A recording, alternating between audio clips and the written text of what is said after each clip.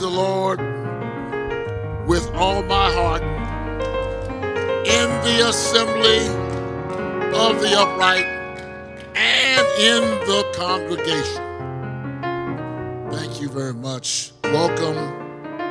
My name is Rip McCormick, and I'm on behalf of Reverend, Dr. Daryl Horton And on behalf of the Mount Zion Baptist Church family, we welcome each and every one of you, those who are in the sanctuary with us and those who are in looking uh, virtually uh, to our Stewardship Institute 2022. Our theme is God's mission, mobilizing mission-minded disciples. This is night three of a three night revival. If you did not see night one and night two, you missed something. You missed something. You, you really missed something. So I, I, I don't know what to tell you, but you missed something. So go back and check it out uh, and see. These pastors have poured out tremendously these two nights. And we're at night number three. Um, our lecturer has been kind enough to bring handouts for us. Uh, and so there are handouts in the sanctuary. And for those of us who are not here, we will get handouts for night number one, two, and three. And we will send those out via email so that the congregation will have those. All righty? Amen. Amen. All righty, all righty. So let us go up from here to begin our final night. Pulpit minister for the night is Reverend Charlie Roberts the Mount Zion Baptist Church. Are you ready to go up from here? Are you ready to go up from here? Give God a hand clap of praise. Are you ready to go up from here? It's going to be good. Expect, expect a blessing. Expect a blessing tonight. All right? Amen. Amen and amen.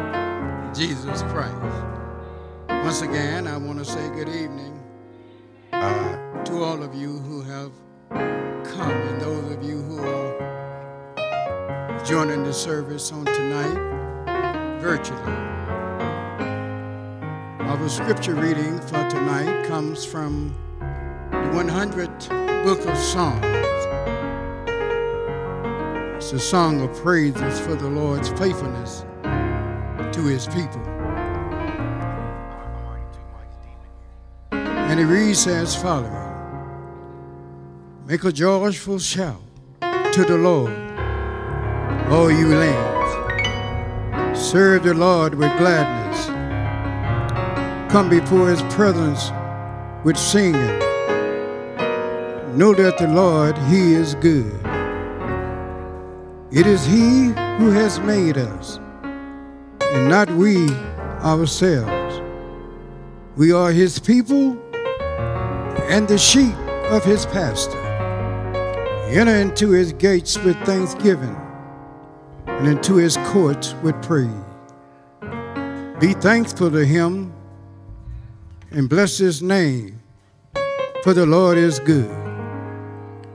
His mercy is everlasting, and his truth endures to all generations. God bless you and may God keep you. Let us go to God in prayer. O oh God, Thou hast been our dwelling place in all generations. Even before the mountains were brought forth, before Thou had formed the earth and the world, from everlasting to everlasting, Thou art God. Oh God, it is right now that we come. We come, God, to give you thanks, to give you praise and honor and glory because you are truly worthy. God, you have been good and you have shown your favor. You watched over us last night. Then early this morning, God, you touched us and woke us up to see a new day. And in this day, God, you have given us a reasonable portion of health and strength. You have protected us from all hurt, harm, and danger. Thank you, God, for your mercy. Thank you for your grace. Thank you, God, for each and every provision that you have provided. Oh God, it is on tonight that we just want to say thank you, God.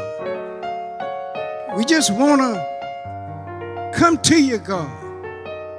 We want to walk with you and we want you to walk with us. Oh, Heavenly Father, I pray that as this institute comes to an end, God, that something have been said by the lecturer and by the preacher, oh Heavenly Father,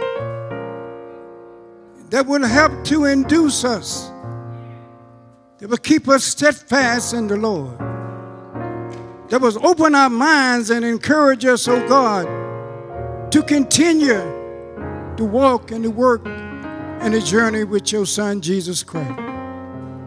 Oh God, it is that we love you.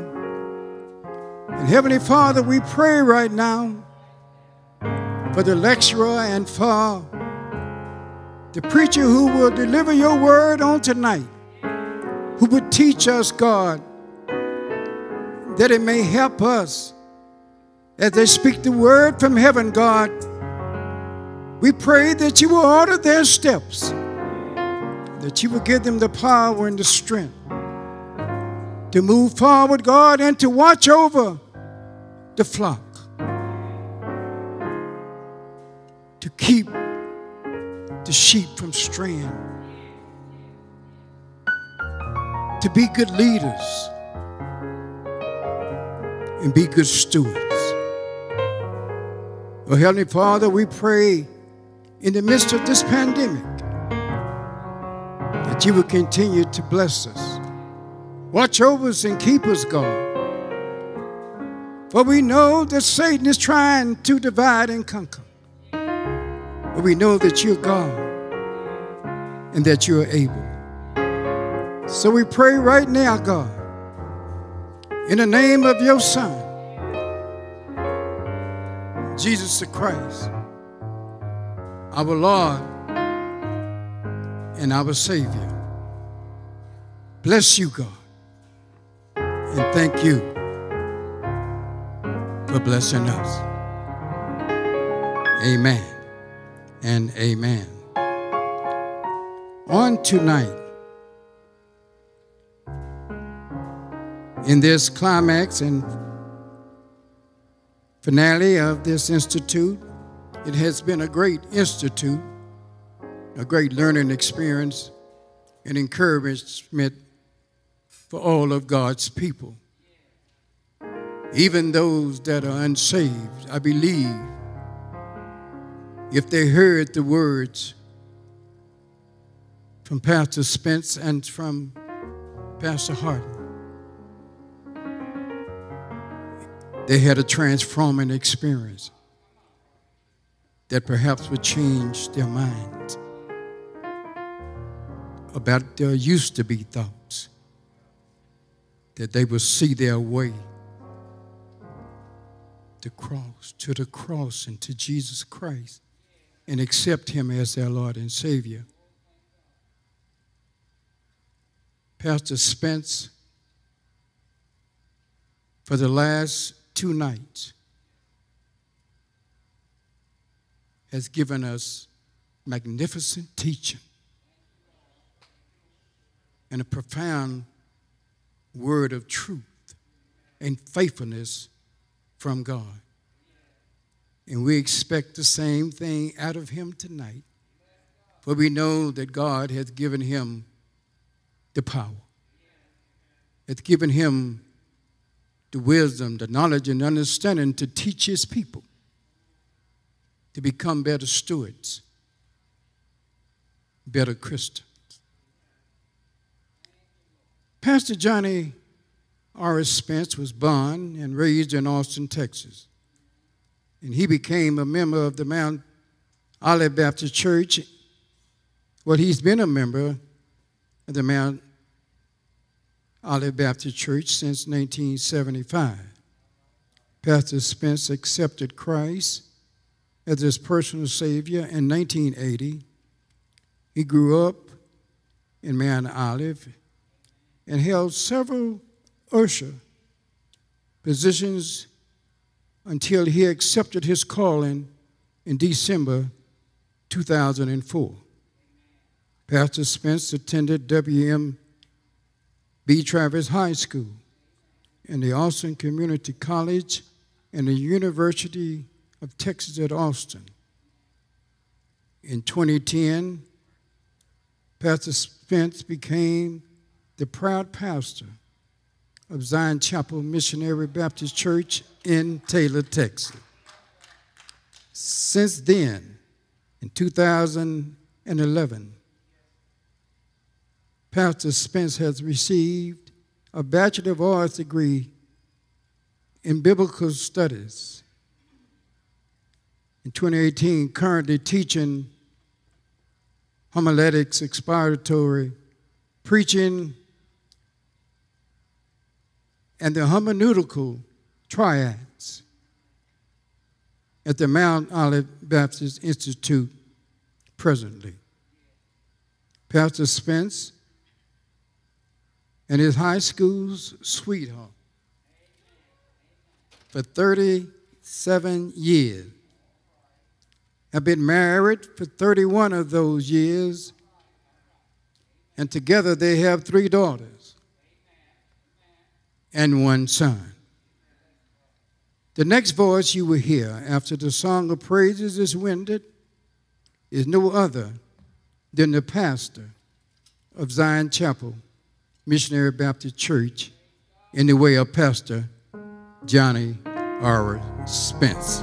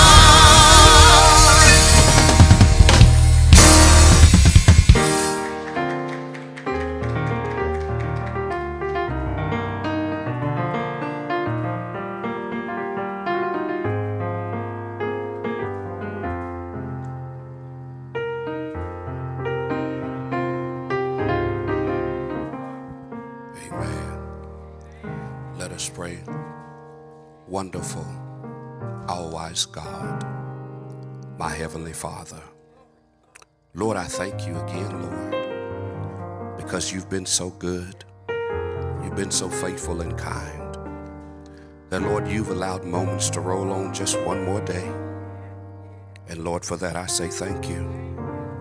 In your grace, Lord, you've brought me through dangers that I did not see. And then, Lord, even those things that I seen, Lord, you brought me through. And for that, Lord, I say thank you. Lord, you've been so kind, Lord, to allow us to make it just one more night that we may come and share with this your people. We pray now that you would touch hearts and minds make them ready to receive. And then, Lord, for those that are in the virtual world, we pray, Lord, that they have clear reception, that they will be able to hear your word clearly expressed. We pray, Lord, for this church, that she continues to be a beacon light in this place where you have placed her.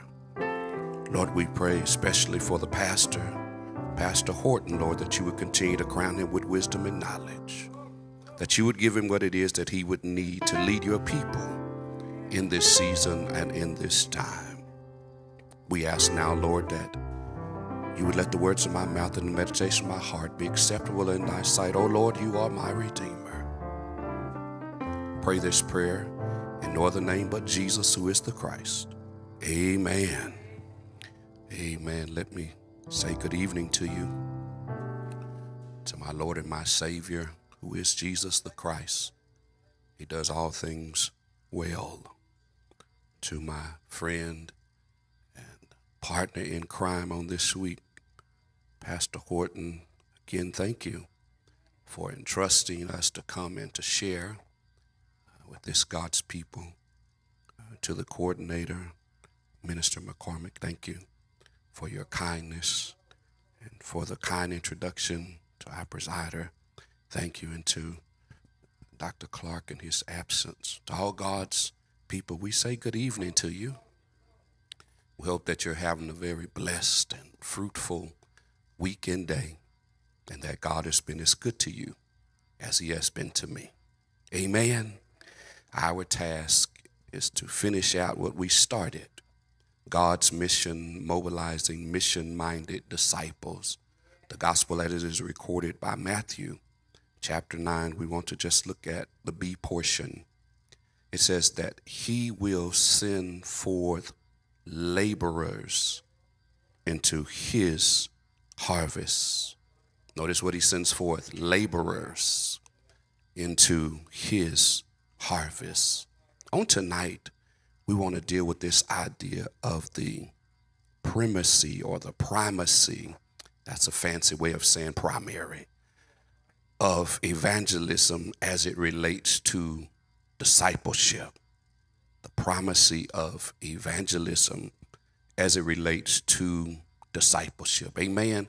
We want to try to do that as quickly as we can and get from here so we can hear another marvelous word as we did on last night. And I want to throw this out as a precursor for anyone that, that gets mad and calls me a copycat. Uh, Pastor Horton messed up my lecture for today.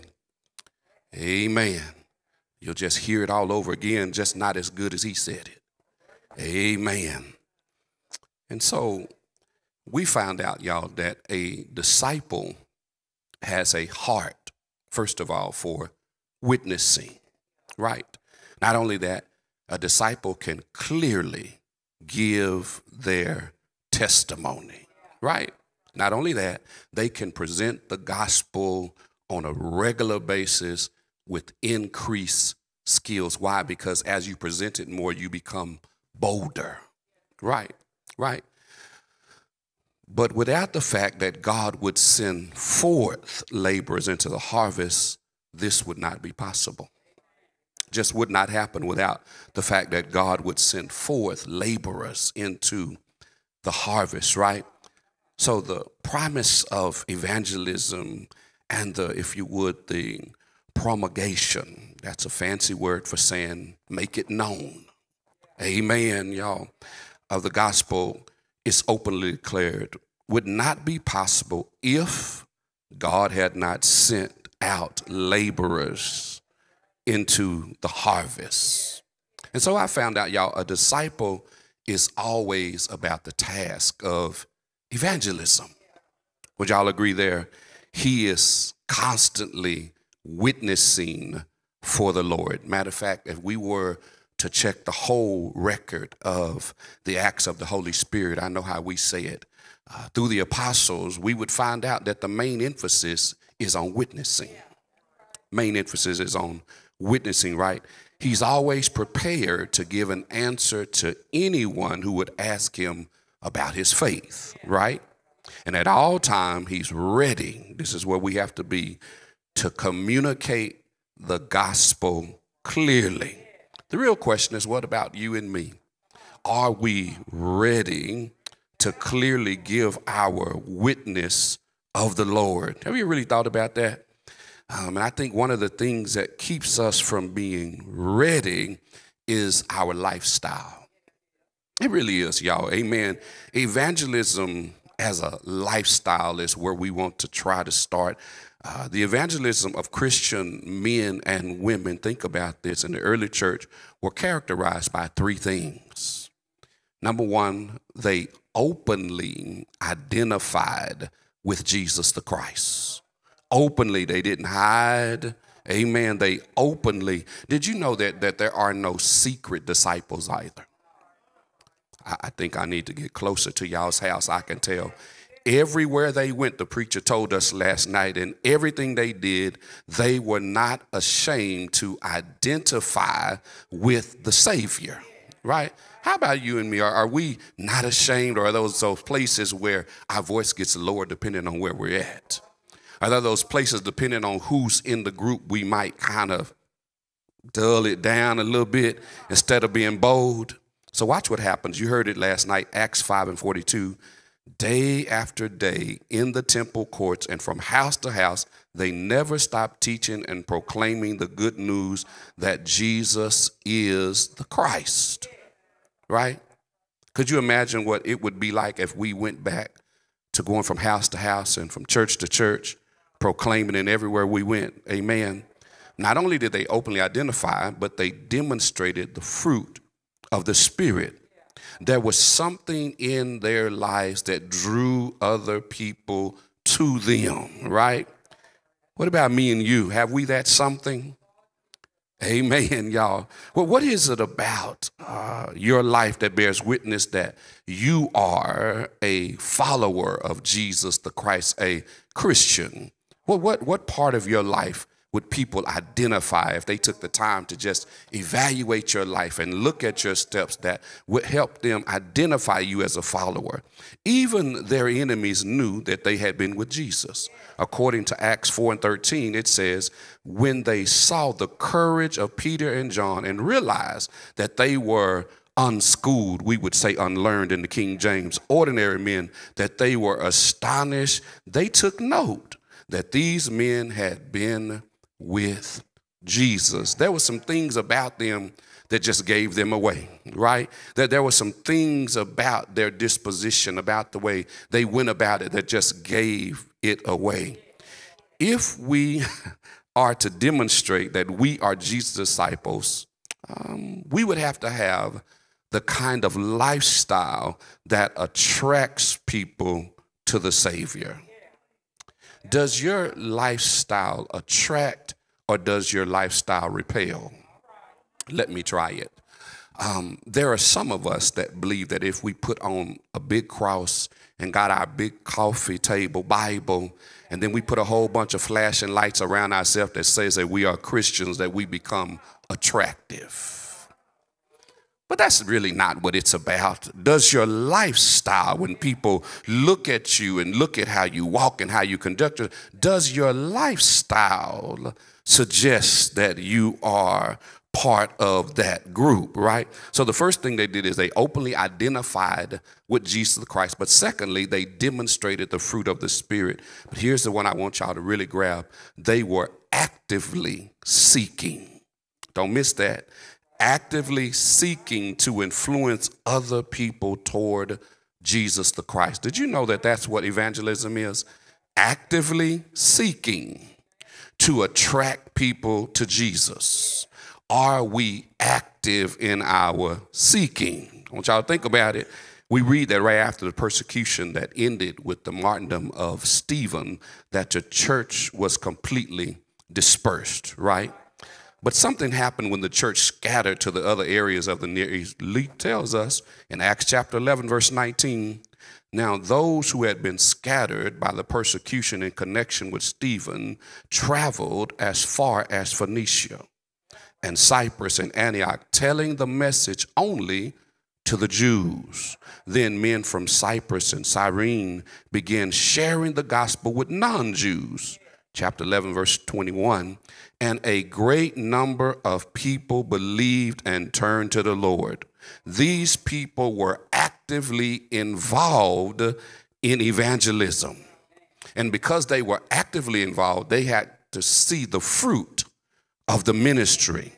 Some people want fruit, but they don't ever want to dig. Some people want fruit, but they won't till the ground. Some people want fruit, y'all, but all they want to do is watch it grow, right? But do nothing in return to help it grow, right? That's what some of us are, y'all. But evangelism is the key to disciple making, believe it or not, and must be the cutting edge of any lasting ministry. If your ministry is going to last, evangelism must be cutting edge. For every ministry, evangelism must be kept at the forefront. So if we were to go and evaluate our ministries presently and individually and looked at all of the different groups of ministries, where does evangelism fall? Just think about it. Is it in the forefront? We can trust God to give us the wisdom on how to handle babes in Christ, right? That He's going to give us, y'all. But we could never relax in our efforts of evangelism. You must continue to go and compel men to come in. Since God has sent out laborers for his harvest, are we constantly at the task of evangelism? Are we constantly witnessing to the lost? There's this biblical pattern is involved, and it involves both evangelism and discipleship at the same time. That's usually where we're gonna hang up right there. When on one hand he's saying we got to go evangelize the world, but at the same time, we have to keep on making disciples, right? Paul followed up, watch what he did. He discipled the men that he won to Christ but he also kept on evangelizing. See, we might do one of them, but if we got to do two of them, what we going to do? Preacher, you need to make up your mind. Which one do you want us to do? I can't do two things. Listen, it's enough that I'm doing one thing. It, it's already enough that I'm even showing up and coming to church. Now you want me to do something else, preacher? Y'all, y'all know how we are. Amen, y'all. Evangelism brings new life into the ministry of the church. Is that right? The reason why some churches grow is because people are constantly, amen, y'all see that, right? Constantly being reached with the gospel. Is that right, y'all? Those who began that ministry never lose the vision of evangelism. They may never lose the idea of the health of evangelism and how much it helps the ministry to grow, right? So here's a question Are people being added to your church because uh, they meet Christ through the members of your church? Let me back up and really help. Sometimes, especially in the Baptist church, especially our group, we always have the audacity to say that if the preacher does well, then people will come the preacher has a kind of name and he has a kind of preaching ability, then the people will come. I'm still reading a Bible where I see that sheep begat sheep. I'm still trying to figure out where we do it. But I do know that sheep do, amen, begat sheep. Is that right? And so the real question is are people being added to your church because they are meeting Christ through the members of your church? Hmm. It ought to be so, amen. Evangelism must be the life of a disciple. Amen. So here's another question Is Christ being lifted up in your church? I want y'all think about that. Do people see Christ in us and then they are attracted to the body of Christ? I have been working probably some two to three years on this idea, y'all, and when I'm finished, I'll, I'll make it available there is a problem in our churches, right? Every year, this is one of the things that the church wants the pastor to do. Oh, give us a new, updated vision. They, they, they, they, want, they want to hear the latest and greatest, and, and they want us to come up with a mechanism for moving this vision and putting it in front, right? And I believe that's what's really wrong with churches. Y'all got too many visions. Amen. And, and so, and so, and so, and so what happens, y'all, is we have a message but our message has been wrapped up in our many methods. We have so many methodologies, but we only have a single message. And guess what? Your message is cocooned here, but there's so many methods surrounding your message. But we have this message if I be lifted up, I'll draw all men unto me, right? But every year, y'all want the preacher to come up with a new mechanism, right? A new vision for coming up. Listen, he said real simply if I be lifted up, I'll draw all men. And the problem is uh, the message has been wrapped up in all, I, can I call it mess? Amen. Y'all, that's another day, that's another day, that's another day. Amen. I want to now look at the importance of a testimony. Successful evangelism generally begins with a well prepared testimony, y'all, in which we share what Jesus the Christ has done in our lives. A well prepared testimony will help somebody. Have you come to the point in your spiritual life, just think about it, when you can say for certain that if you were to die tonight, that you know that you're on your way to heaven? See, that, that right there just messed me up right there, Pastor Horton. See, because if you have believers in the building, there should be some reverberating. Yeah, it, it should have hit the walls, the doors, and reverberated all the way back, y'all. Do you know that you know, beyond a shadow of a doubt, that you would be on your way to heaven? Too many believers are talking about they trying to get to heaven.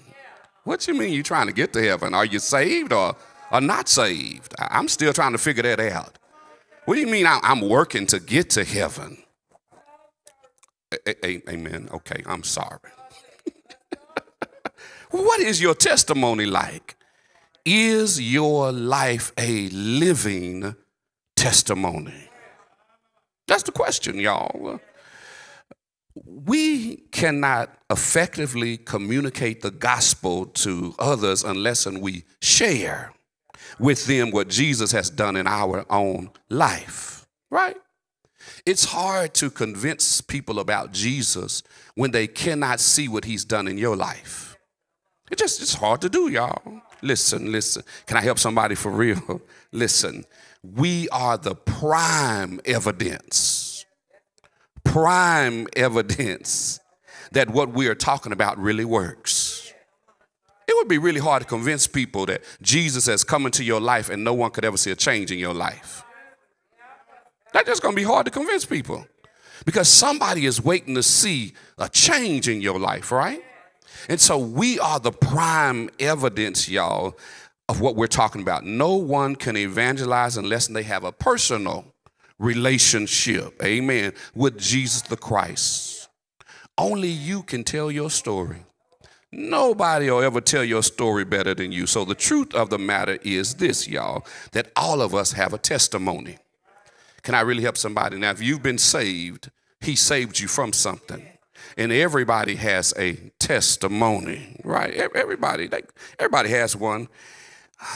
It may not. Sometimes, here's the problem Sometimes we hear people's testimonies, and they have all kind of bells and whistles and lights go off and thunder and lightning, and we just get caught up because sometimes our testimony don't have no bells and no whistles and no, no lights and stuff, right, y'all?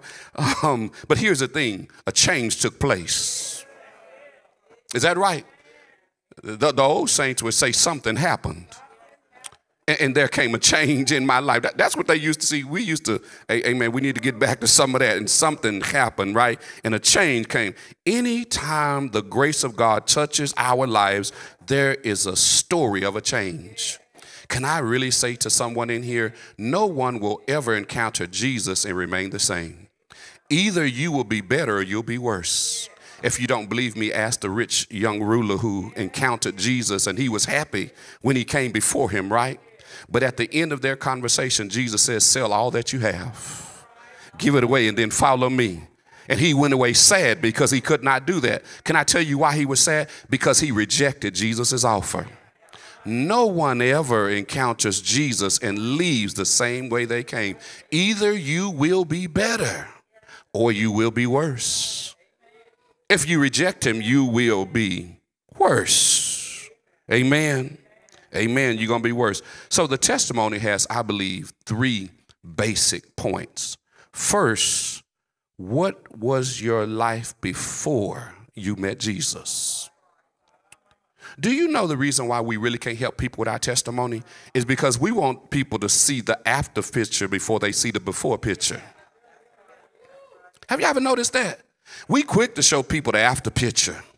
But I dare you to show people the before picture. It is the before picture that will help someone. Because guess what? Somebody may be in the same before that you was right now. And if they would just hear that there is a way out from where they presently are, and there is another picture to be seen, guess what, y'all? Their lives will be helped, y'all. But not only that, y'all, listen, listen, this is the one. How do you know that you know beyond a shadow of a doubt? that you have eternal life. Isn't that always people's question? Do you really know that you're going to heaven? How do you know? They want to know how you know, right? Then after that, y'all, they want to see some benefits uh, to knowing Jesus, right? So watch this. They, they want to know what your life was before. They want to know how you know that you're saved. And then they want to hear some benefits, y'all, to you being saved. Is that right, y'all?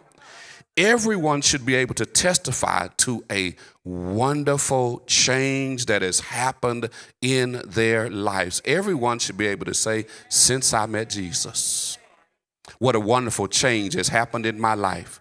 Everybody ought to be able to tell somebody, y'all, listen, that I've ceased wandering and going astray since I met Jesus. You ought to be able to tell somebody that my sins that were many have been all washed away. When? Since I met Jesus. So, can you speak intelligently about your encounter with Jesus Christ? Many Christians either can't or they won't. Can you? You know how we are. Oh, I just can't express it. I know y'all have never heard that before. Pastor, you know, I, I, I'm just too shy. If I told y'all, y'all not gonna believe me, but watch this, y'all. I'm not only, I'm not only shy, but I'm introvert. People don't believe that. But I'm super shy, and then I'm an introvert. But guess what God, how God works things out? God never let me do anything that would keep me shy. Y'all ain't gonna help me. When, when, when, I was in sports, he made me the quarterback, the point guard, and the point man on the relay team. he just won't let you stay shy, right? Every time, listen, listen now, I grew up in church, y'all, and every time it was time to do something, if you didn't do it, you would get a beating at my house. So when they would look at somebody to do something, my mother would look at me and I just automatically jumped up, y'all, because I didn't want to get a whipping whether I could do it or not. And, and so, and so, and so, so, so, amen. I, have learned not to be, amen, amen, amen, amen, amen, amen, amen. listen, listen, listen. Can you speak intelligently about your encounter with Jesus Christ? Many Christians, Either they can't or they won't. But a disciple must. No matter where you are, you should be able to communicate the gospel of Jesus Christ through your testimony. What he's brought you to, where he's brought you from, where you currently are, your testimony. Say a commitment to the primacy of evangelism is a must if you are to be a growing Christian disciple, right? Your testimony is your authority. Believe it or not, y'all, to speak out about Christ and the gospel. It is your authority and you ought to use it. And so now I'm back in Pastor Horton's sermon. Peter and John had come to the temple in Jerusalem to pray. And on the way, y'all, they had to heal a man who was born lame, right? After they had preached to the crowd that gathered, y'all, they were arrested. And They were taken to the Sanhedrin, the ruling religious group of the Jews, y'all. Two things that we should look at here, y'all. The men of the Sanhedrin recognized that Peter and John had been with the Lord. Don't miss that, y'all. That's a testimony. Anytime somebody else can see that you've been with the Lord, it is a testimony, right? But here's the one that got them. They also saw the testimony of the former lame man. Preacher, they've already missed what your lesson has said. Listen, watch this. Somebody has looked at your life and they say, Wow, I remember them. That ain't the way that they used to be. And that starts to be a testimony because somebody is saying, I remember how they used to act and I remember how they used to conduct themselves. But all of a sudden, there came this wonderful change. Watch this. They had one problem already. They said, Listen, we can refute the fact that Jesus got up because, listen, they stole his body. But here's what they could not refute too many people had been watching that man sit at that gate. Here's what they could not refute the man was born lame, but all of a sudden now he's walking. No one could refute that miracle. Is that right, y'all? So they had a problem. he had been lame, and God had healed him through Peter and John. The testimony, here it is, of two courageous lives and the testimony of a changed life. Do you know what the testimony of a changed life will do? It will help somebody who's traveling wrong. It will help somebody, y'all. All it takes, and when people can see what he's done in your life, it speaks volumes. It does more than you walking around with a big coffee table Bible. It does more than you walking around with a big old cross telling folk, I'm saved, sanctified, and ain't sinned all day. Here's the problem the Bible says, let me leave that alone, Pastor Horton, I'm sorry. So, so let, let me leave it alone. Let me leave that alone. Listen, listen, listen, listen it brings about this idea of a changed life and it becomes so powerful. So after the Sanhedrin threatened Peter and John, y'all, they released them. Isn't that interesting, y'all? But then watch what happens. Peter and John went into prayer. Notice what they asked God for. Now, Lord, consider their threats. Don't miss the text, y'all. Now, Lord, you consider their threats. Here's what I need you to do for me, Lord. Here it is enable your servants to speak your words with great boldness. Wait, they didn't ask the Lord to get them, they didn't ask the Lord to blow them up, they didn't ask the Lord to move them. Watch what they did. They, they said, Lord, listen, I need you to consider what they're saying, but what I need you to do is to give me more boldness and more power to continue testifying about your goodness. Could you imagine what we would be like if we didn't ask God to remove our obstacles, but we simply asked God to make us bolder, to make us better? did, did, did you hear that prayer? So, in the Christian context, listen, boldness means not being ashamed to talk about Jesus.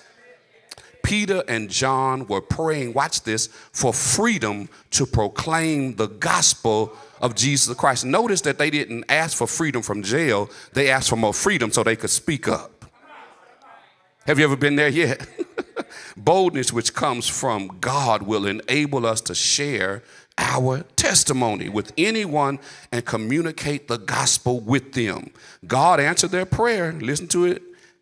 After they prayed, the place where they were meeting was shaken. And they were all filled with the Holy Spirit and spoke the word of God. What does it say? Boldly. Is that right, y'all? What about you and me? Could you share your testimony in such a way that it would attract people? Could you?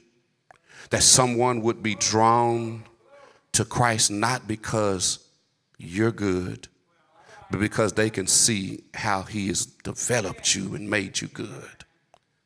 Could you share to the point that that that there is this reflection of Jesus?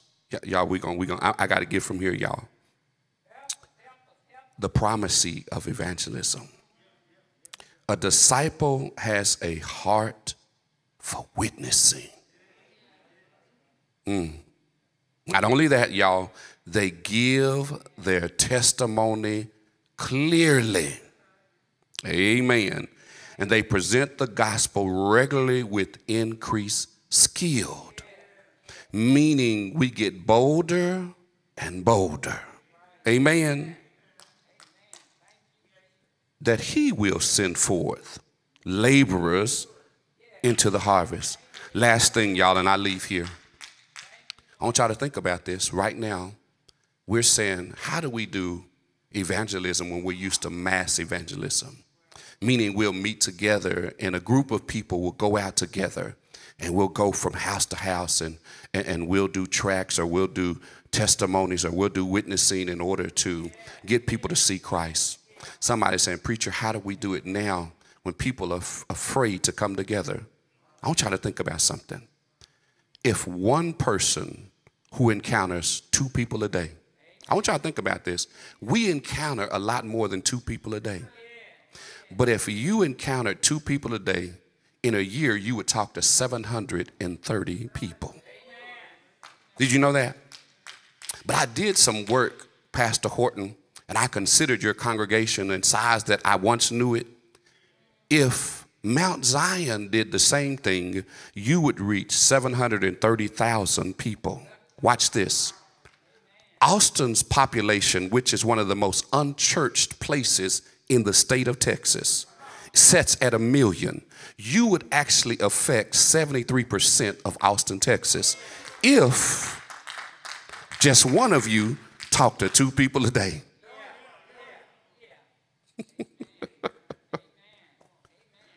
Could you just imagine that? Will we be true to what God has called us to do? That's God's lesson for God's people. I want to say to my friend while I'm still here again, thank you so much for entrusting. Thank you for inviting. Thank you, Mount Zion, for listening. We hope that something has been said that will impact us, change us, and make us better. And as we continue to consider the ideas that have been presented to us this week, that we will become better stewards of discipleship. God bless you and God keep you.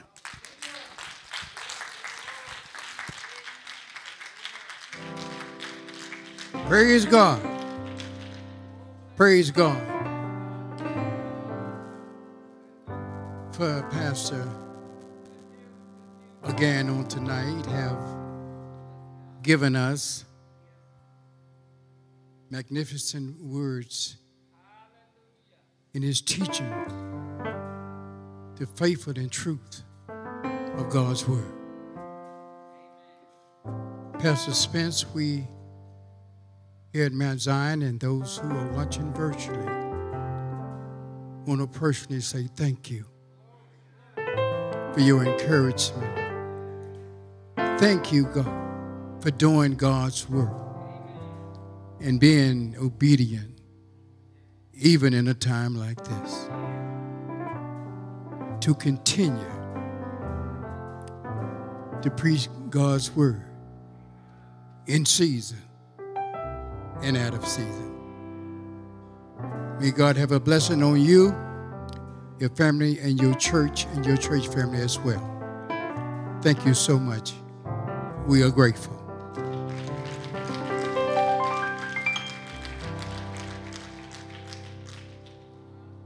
Before we move a little higher in service on tonight,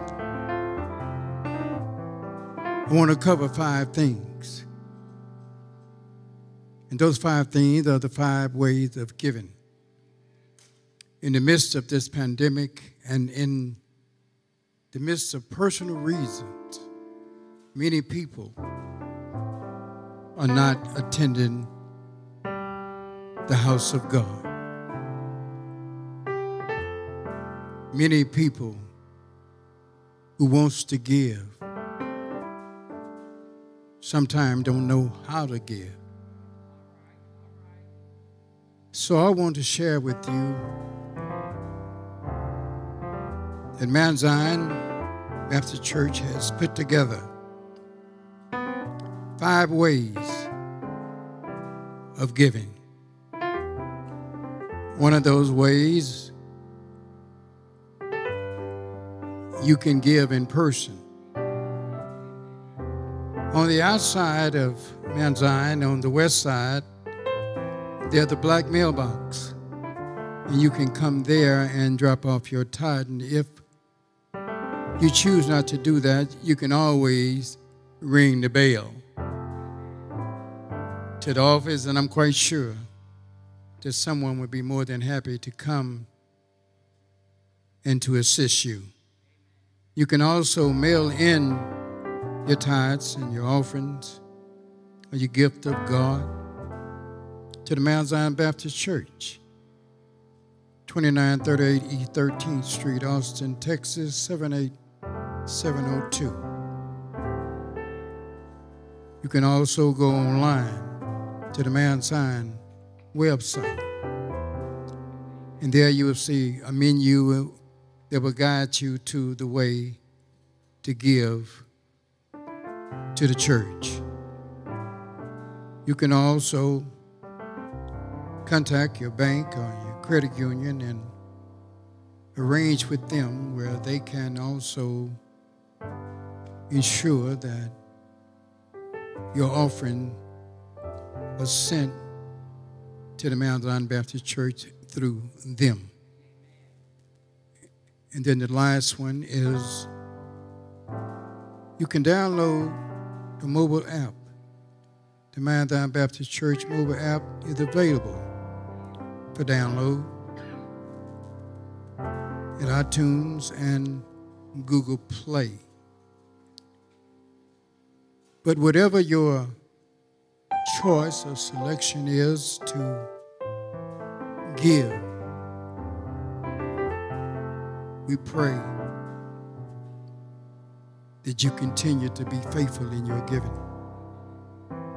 And the Mount Zion Baptist Church would like to thank each and every one who continue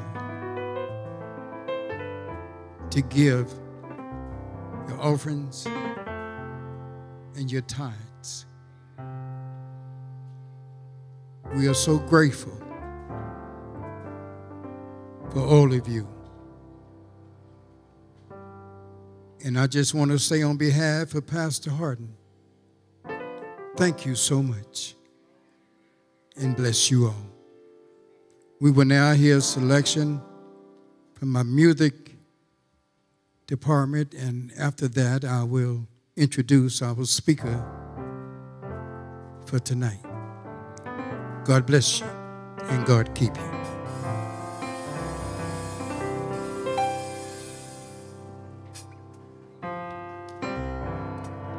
We're gonna sing a simple song tonight. It goes, How great is our God? Sing with me, how great is our God? And all will see how great, how great is our God. How about sing along this time? And how great is our God. won't you come in? Sing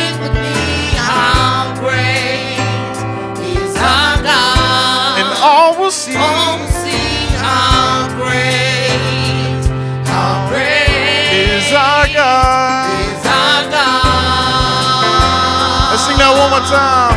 How great, hey, Great is our God. won't you come and Sing with me? how great is is our God. And all will see. All will see how great, How great,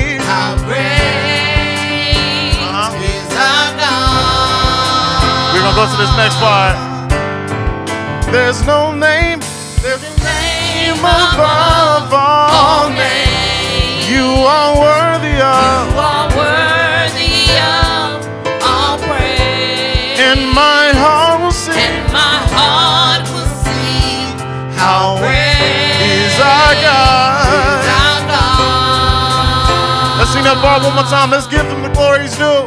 There's no name. You're the name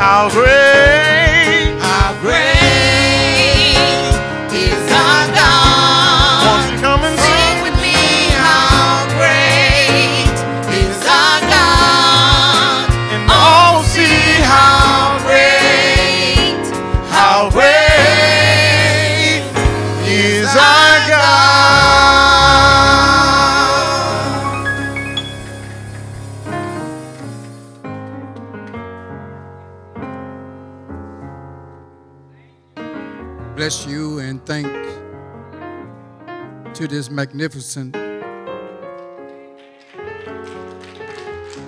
music ministry here at Mount Zion.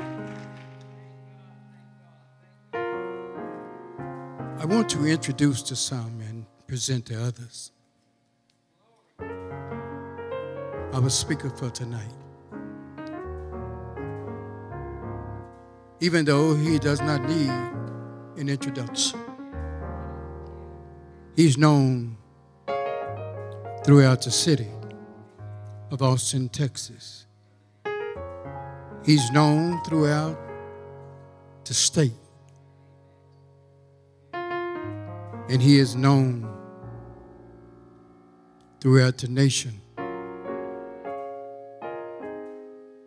To be pastor, preacher of good faith. What I like about him is he preached the truth and the faithfulness of God's word.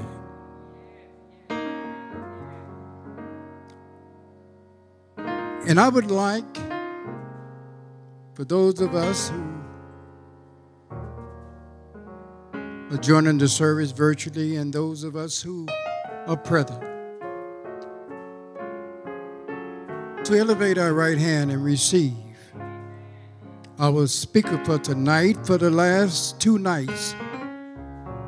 He has given us a reason and a way. And we are grateful for him and for his leadership and for his words of inspiration. So at this time, I would like to introduce our speaker for tonight, who is the pastor of Mount Zion Baptist Church in Austin, Texas. And there's no other than the doctor, Pastor Daryl Horton. Amen. As we receive him.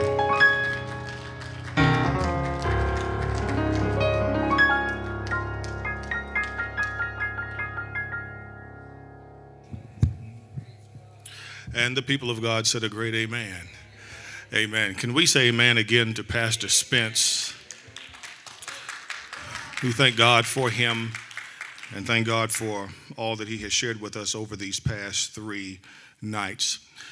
Uh, I remember how Pastor Clark, when we would have moments like this, that he would stand up and he would jokingly say that I can't wait to get this preacher on the airplane and get him back out of town. Well, unfortunately, I have no plane to put him on but uh, I am glad that uh, he has been with us three, these three nights. And so thank God for him and for all that he has given to us. Again, to Reverend McCormick, to our presider tonight, to Reverend Roberts, to uh, Dr. Clark in his absence on tonight, to the entire Mount Zion family, to all of the ministries that are present on tonight, to our music ministry, our praise team, to our media, our ushers, our welcome committee, and to all the Mount Zion family who are present both in the sanctuary and virtually. I want to say good evening to you and God bless you. Thank you so much for being with us each of these three nights. My hope and prayer is that something has been said that has challenged your heart and your mind, convicted us that God has a great work for us to do. And so it is on this night uh, that as we close out the session tonight, I want to draw your attention to a text in the Old Testament. the Old Testament text of 2 Samuel. 2 Samuel, the last chapter of that book, chapter 24.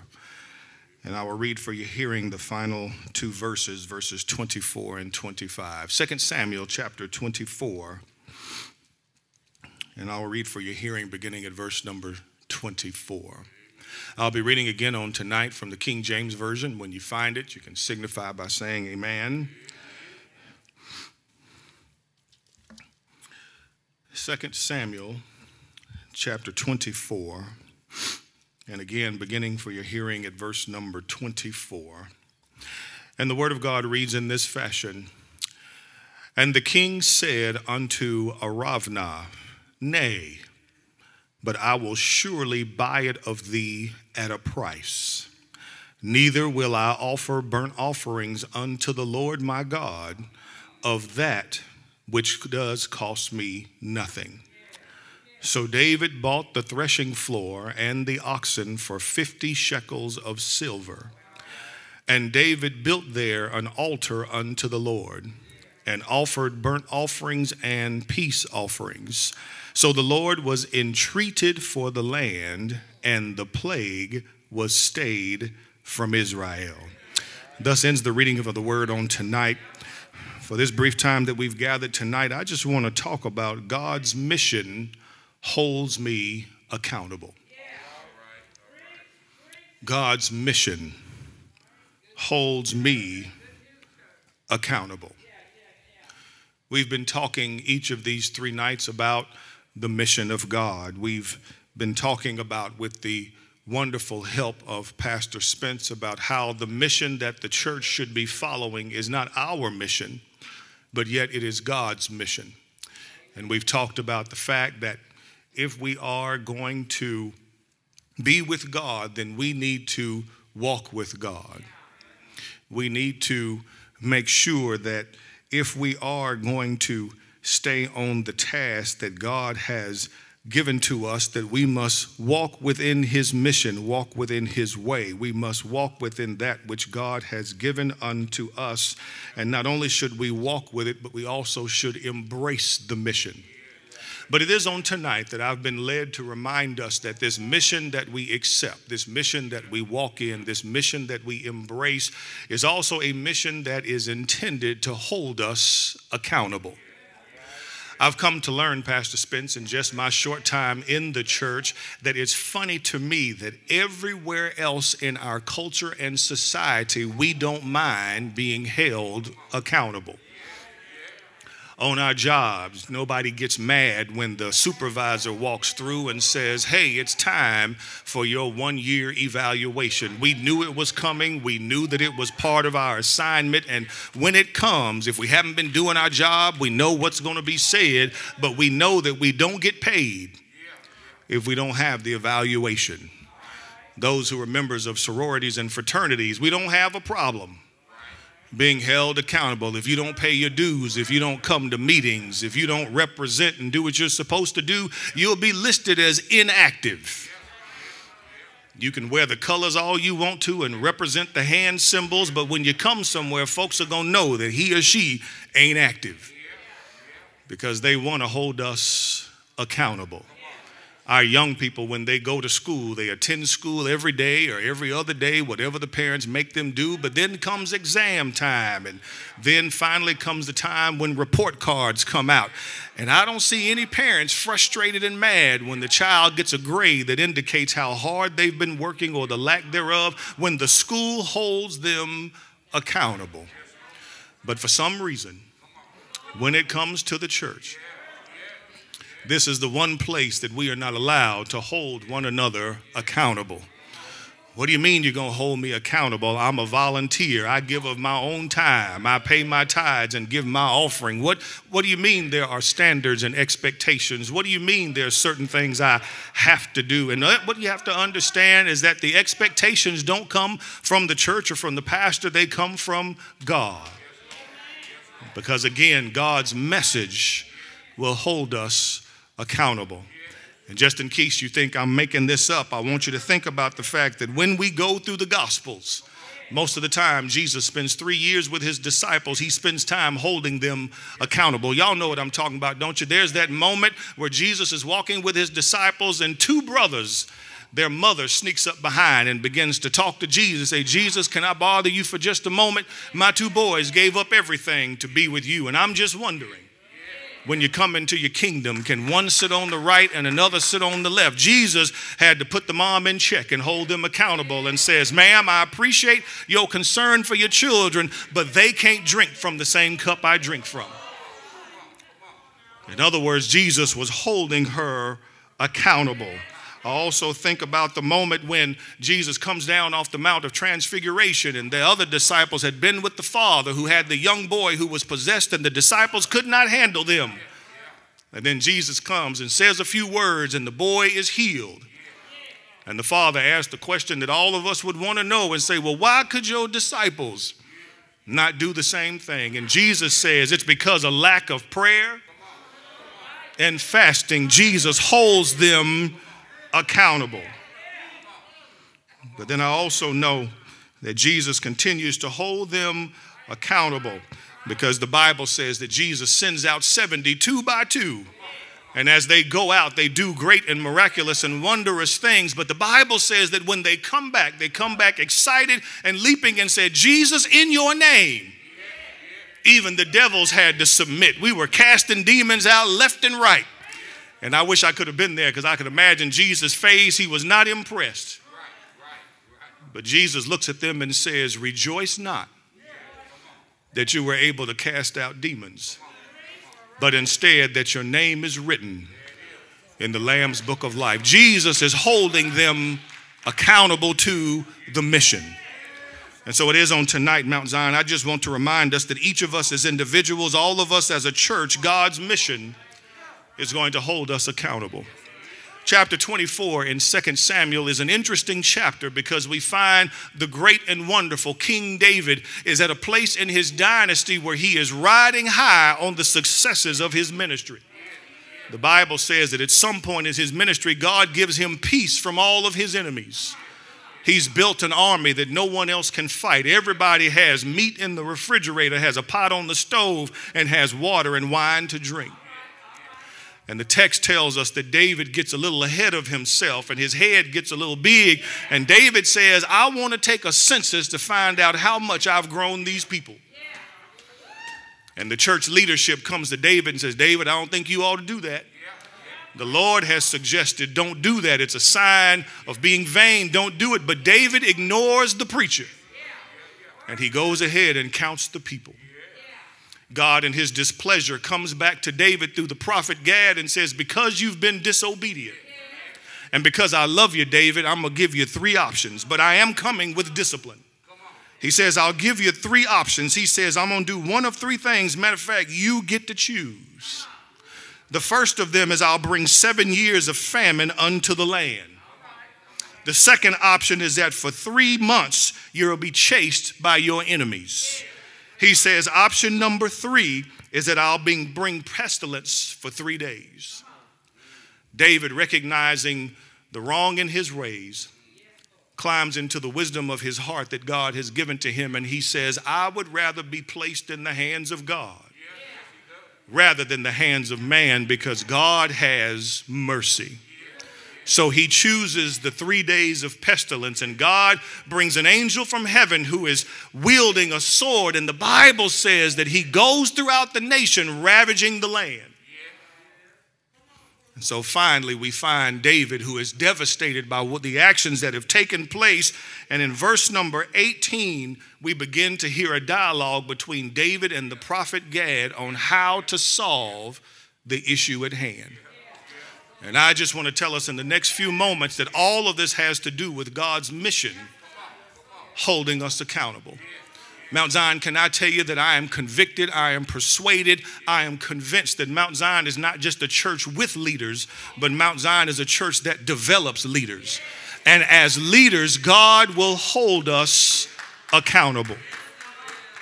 And so, what happens in the text when God holds us accountable during his mission, the first thing I recognize is that it calls for obedience.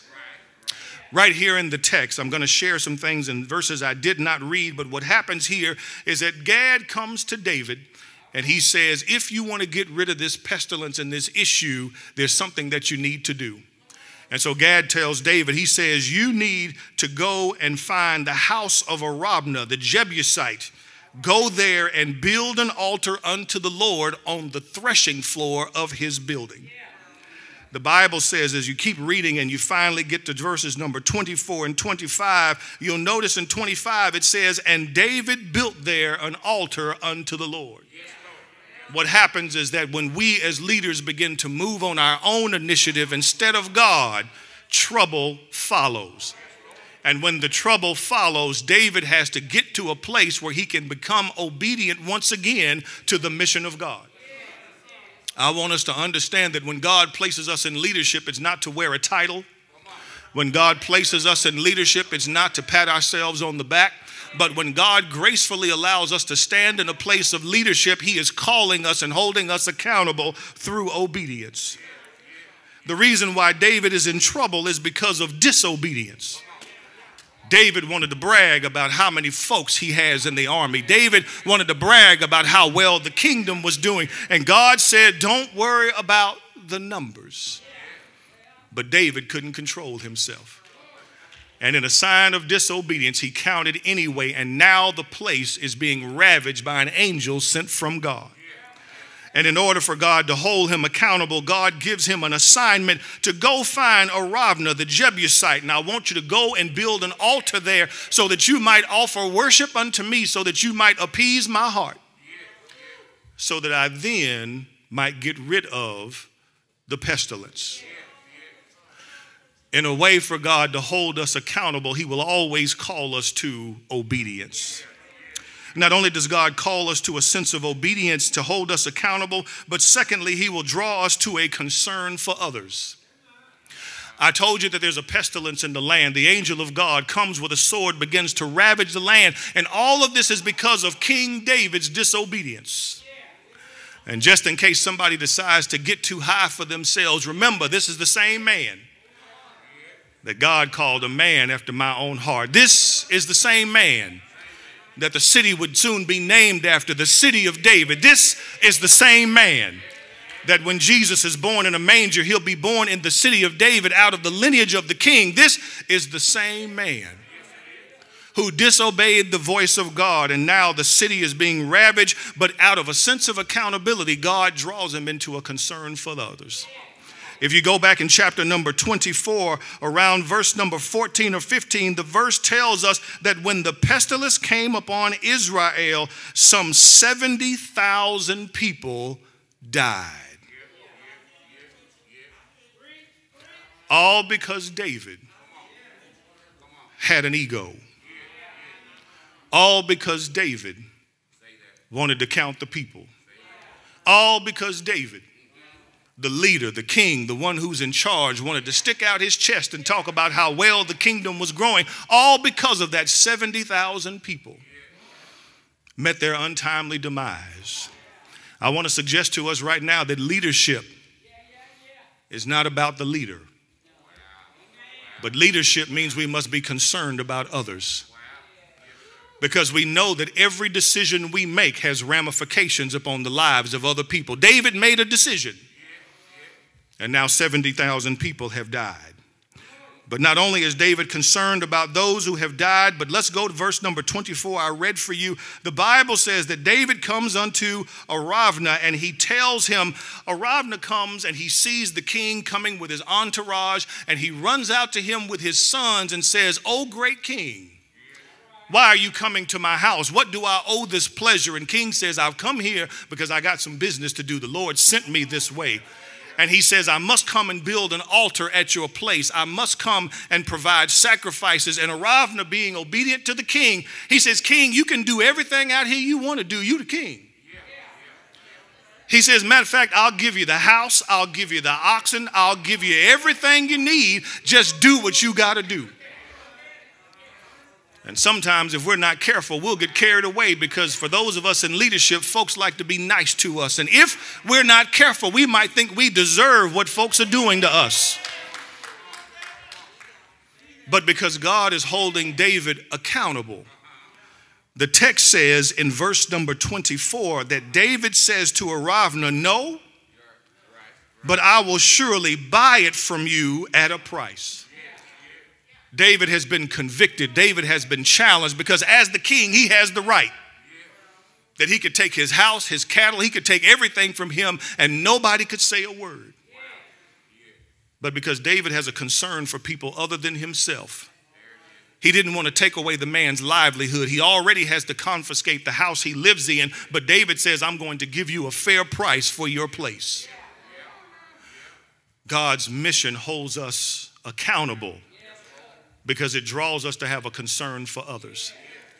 David is concerned about how the pestilence are killing the people of the land. David is concerned about how his obedience in doing what God would have him to do impacts the man who owns the house. So he offers him not just some money, but a fair price for what he's taking from him. When you get a chance, you can read the same story in First Chronicles chapter 21, and you'll find how David not only pays 50 shekels for the offering for the oxen, but he also pays him a lot of gold for the house. And so God's accountability to him causes him to be concerned for others. Not only does God holding me accountable has a concern for others and a call for obedience, but you also need to know that God holding me accountable comes with a cost. David is challenged to be obedient unto God, to go and find Araunah's house, to go and build an altar on the threshing floor, to make sacrifices unto God so that you might appease him and the plague or the pestilence might go away. And so what happens is that David realizes that leadership comes with a cost. I've heard the phrase before, Reverend McCormick, but I'm coming to earn, understand it a little more and more, and it's very crude, especially to be used in the church. But somebody said it costs to be the boss. I never understood what that meant. I never understood what that meant until you sit in certain places of leadership and it costs your time. It costs your resources. It costs your heart. It costs your emotions. It costs your convictions. It costs all that you have if you truly are to become the leader God calls you to be. And right here in the text, we'll see what it cost David. Number one, it cost him some of his resources. He had to pay Araunah for the house, he had to pay him for the oxen. But I also want you to know that David understood in verse number 24 that it also had to cost him something more than money could ever buy. Look at what he says in the verse. It says, I will surely buy it of you at a price. He says, Neither will I offer burnt offerings unto the Lord my God of that which doesn't cost me anything. I told you that Araunah was trying to be nice to the king. He says, You need to make sacrifices. Here the oxen, just take them with you. But I'm willing to say that David had learned an earlier lesson when he was young that I can't sacrifice unto God what's really not mine. I believe that if we go back in the text, we'll find David as a younger boy who goes out to the battlefield because his brothers are there. He goes to take them food, and when he gets there, he sees them talking to a giant, and everybody's afraid. And David goes, What y'all scared for? The God that we serve can defeat that giant. And then the text says that Saul, the king, comes over and says, Boy, you can't go fight him by yourself. Put this armor on. And the text says that David puts it on and it's fallen all off of him. And David comes to realize, I can't wear your armor because I have not proven it. And I believe that that taught David the lesson that I can't really call it a sacrifice if it never belonged to me in the first place. David says, There's no way I can sacrifice at God's altar if it didn't cost me anything. Can I talk to the leaders real quick in the building right now that you can't call it a sacrifice if it didn't cost you nothing? Sometimes in the church, we even like to play victim because we say, Woe is me. That it took all of this, it took all of that. I had to give this, I have to get that. And if we were to really sit back and begin to count the costs, that it really didn't cost us what we claim it did. But David says, I can't give anything unto the Lord that didn't cost me anything. And so, what does David do? David goes in a transaction and buys the oxen from Araunah. So then, when he goes before the altar and slaughters the oxen, he can sincerely say that these belong to me, and I'm laying my all at the altar. The only thing I'm suggesting tonight in Mount Zion is that God holds us accountable with his mission and it cost us. It's going to cost us our time. It's going to cost us our resources. It's going to cost us our heart. It's going to cost us our sweat and tears. It's going to cost us our emotion. It's going to cost us our faithfulness. It's going to cost us our commitment. If we're going to give to the altar of the Lord, it will cost. And David is convicted that I cannot give if it costs me nothing. Can I tell you something in the text that if you're not careful, you'll miss it? Pastor Spence, this is what I love about this particular passage of text. Did you notice that God was very specific? God says, I want you to go to Araunah's house and I want you to set up an altar on the threshing floor of his house. Can I pause long enough to tell somebody about the threshing floor? The, the, the threshing floor is the place where those who grew wheat that they would have it set aside in their house because this is the place that they would harvest the wheat and that they would lay it on the floor and then they would take wooden structures and tie them to oxen and the oxen would roll the wood back and forth across the wheat in the with the purpose of separating the wheat from the tare. And God said, I want you to put my altar on the threshing floor. Can I tell somebody right now that leadership ain't for the faint at heart?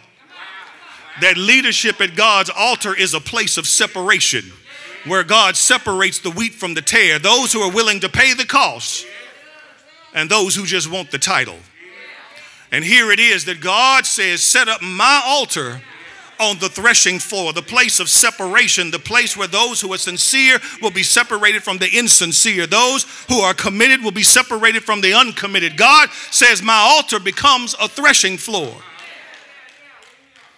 And when you see the threshing floor, the way they separate the wheat from the tares, that they just roll up the door and let the wind blow the chaff away. Can I tell you that there's a shout in there for all the leaders in the house that you don't have to hustle, you don't have to fight, you don't have to get worried about it because when God begins to separate the wheat from the chaff, He'll just open up the window and let the chaff blow out the door, and you'll be stuck with that which is ready. God says, Go to Araunah's house and set up the altar on the threshing floor, the place of separation. And so God helps us to understand that His mission will hold me accountable. He holds me accountable with concern for others, He holds me accountable with a call for obedience. He holds me accountable because it comes with a cost. But then also, I want you to know that He holds me accountable because it connects me to God's purpose.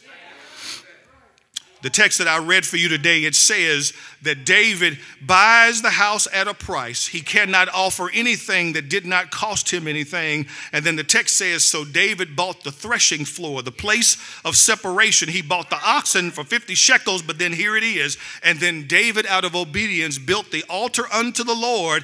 He offered the burnt offerings and the peace offerings. Look at this. So the Lord was entreated for the land. Yeah and the plague was stayed from Israel.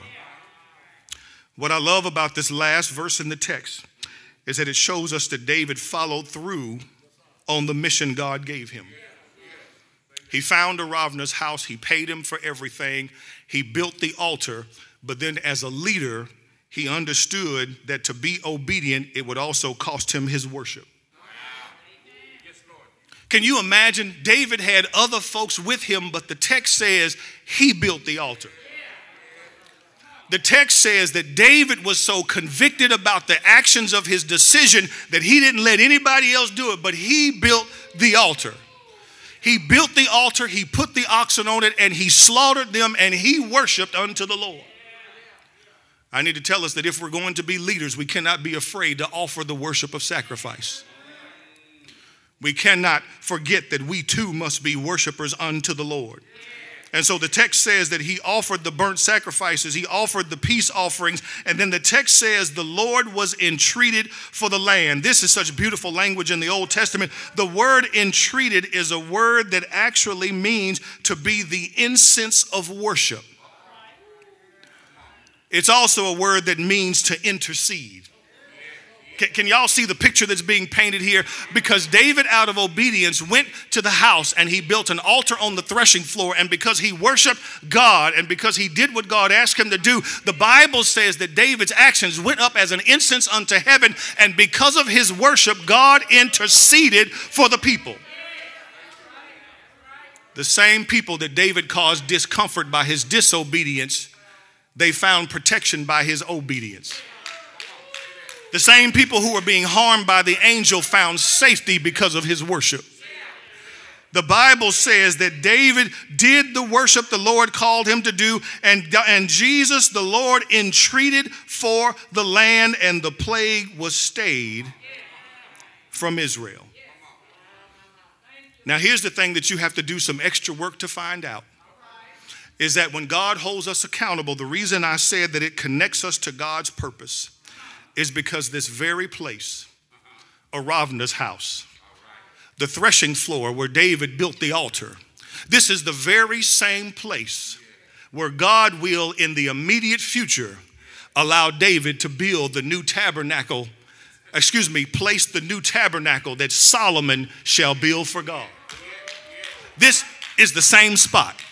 The same spot where David clears the place of separation, builds the altar, sacrifices the oxen, and worships the Lord so that it goes as incense unto heaven. This is the same space that his son would occupy the throne and begin to build the tabernacle, the place that God would dwell in, where his crowd, cloud would come in so thick that the musicians could no longer worship. This is the same place. It's because of his obedience that God allowed him to be a part of God's purpose. And so, Mount Zion, I got to let us go tonight. I'm past our time tonight, but I need us to know that God's mission holds us accountable. You need to know that God's mission will call us to obedience, that God's mission has a concern for others, that God's mission comes with a cost, that God's mission will connect us to God's purpose. And the reason I know it's true is not just because David did it, but I need to know that if you follow down David's lineage, after God had already promised him that from this time forward, there'll be someone from your family always sitting on the throne.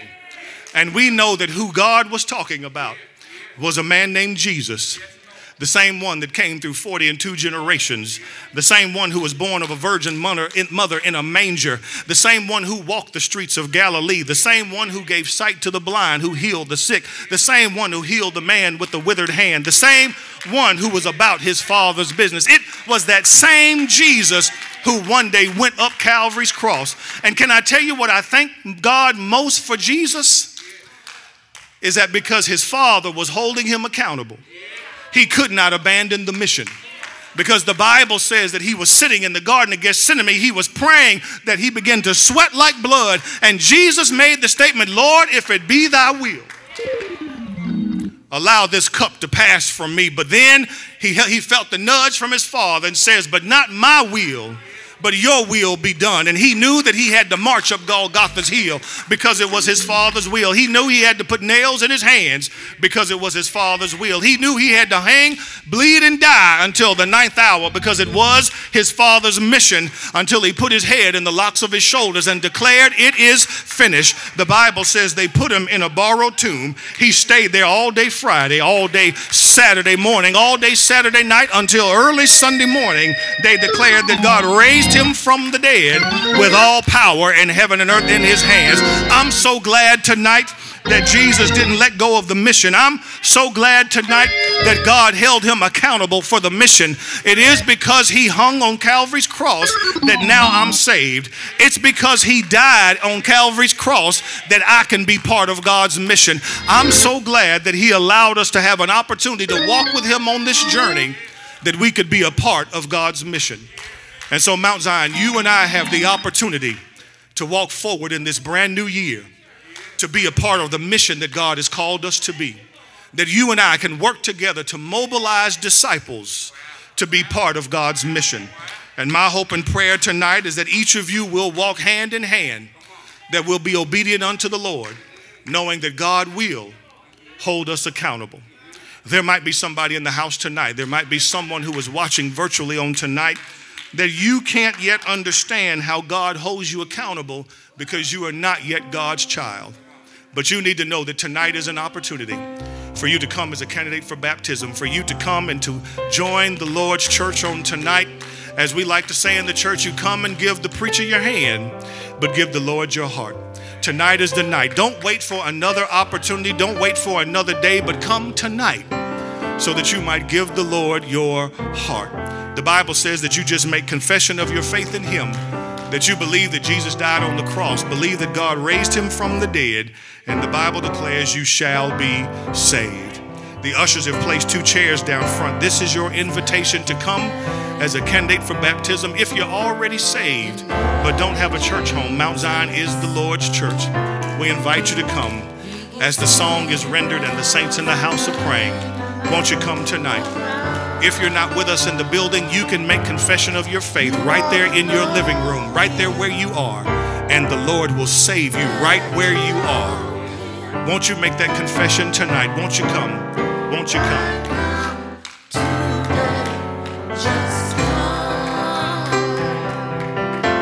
There's nothing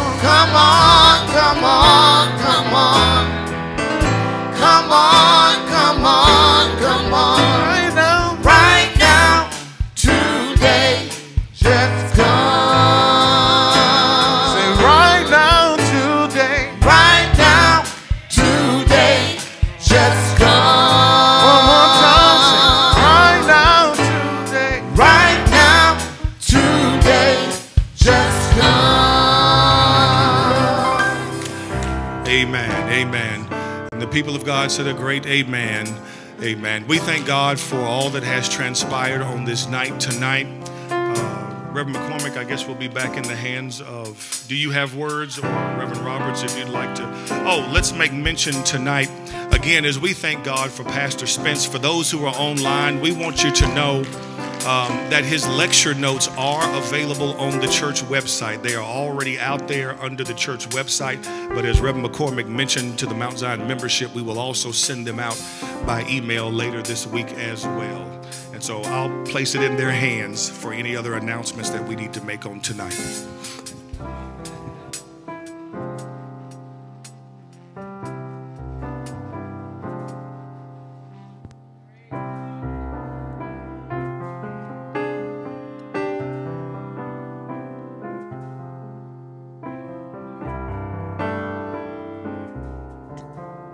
Amen. All right, there we go. Won't be long. I know it's been three nights, and I just want to make sure that we thank uh, those folks who have helped. First of all, I want to thank those who've attended. It's been good to see people in the sanctuary, uh, and I know we've been uh, under the COVID 19 protocol, and you all have obeyed that, and so I just want to say thank you. Those who are watching us virtually, thank you for that as well. Want to thank our worship and arts team who played music for us today. Thank you very much. Our praise team members, and we've had a different praise team every night, so thank you for coming out and, and, and being with us each, each and every night. Also, Sister Tommy Mercer, who works in the office, uh, has been supporting us. Also, Sister Amanda McCoy, who does the publications for us, and Sister Betty Wells, who helps out on this committee as well. And then Reverend John Batiste, Reverend Tyrone Grant, as well as Reverend Charlie Roberts, all of Mount Zion Baptist Church, who were the pulpit ministers. Thank you very much. That's all I have. Oh, let me just say thank you, Pastor Spence. Thank you, Pastor Spence. Tremendous. And we do have his lecture out on the web right now, but we also will send that out via email as well. Tremendous notes, and we show through. Thank you. Pastor, Pastor Horton, thank you so much. Thank you so much for all that you did. Tremendous three nights. Thank you so much. Now we'll have it. You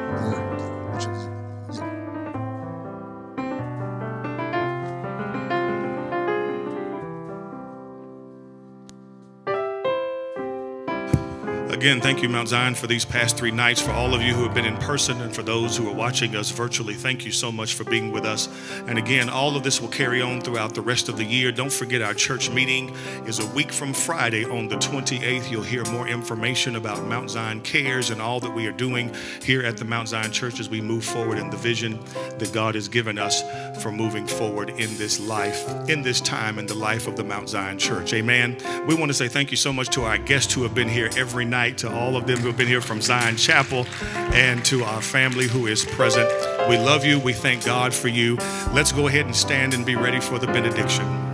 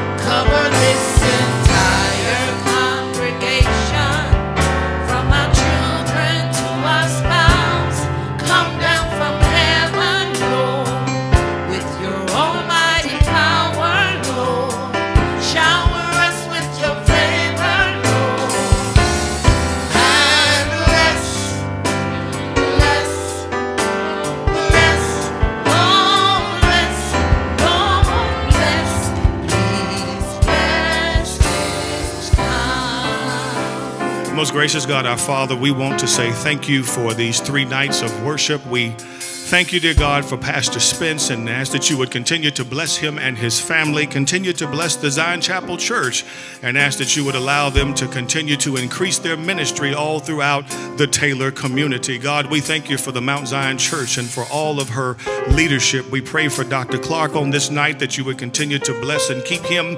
And then, God, for every member, for every family, for every connection to the Mount Zion Church, we ask that you would touch them in a mighty way. And then, God, this is our Stewardship Institute. And so, God, we pray that you would help us to be good stewards of all that you have blessed to put in our hands. Help us to be good stewards of our discipleship, of our resources, of all that you do for us, and make sure that we give you the glory in all that is done. And so, God, we ask that now as we go down from this place, that you would be with us and keep us as we go to our next destinations and remind us consistently and constantly that you'll never leave us nor forsake us. Now unto him that is able to keep you from falling and to present you faultless before the presence of his glory with exceeding joy, to the only wise God, our Savior, be glory and majesty, dominion and power, both now and ever. And the church said together,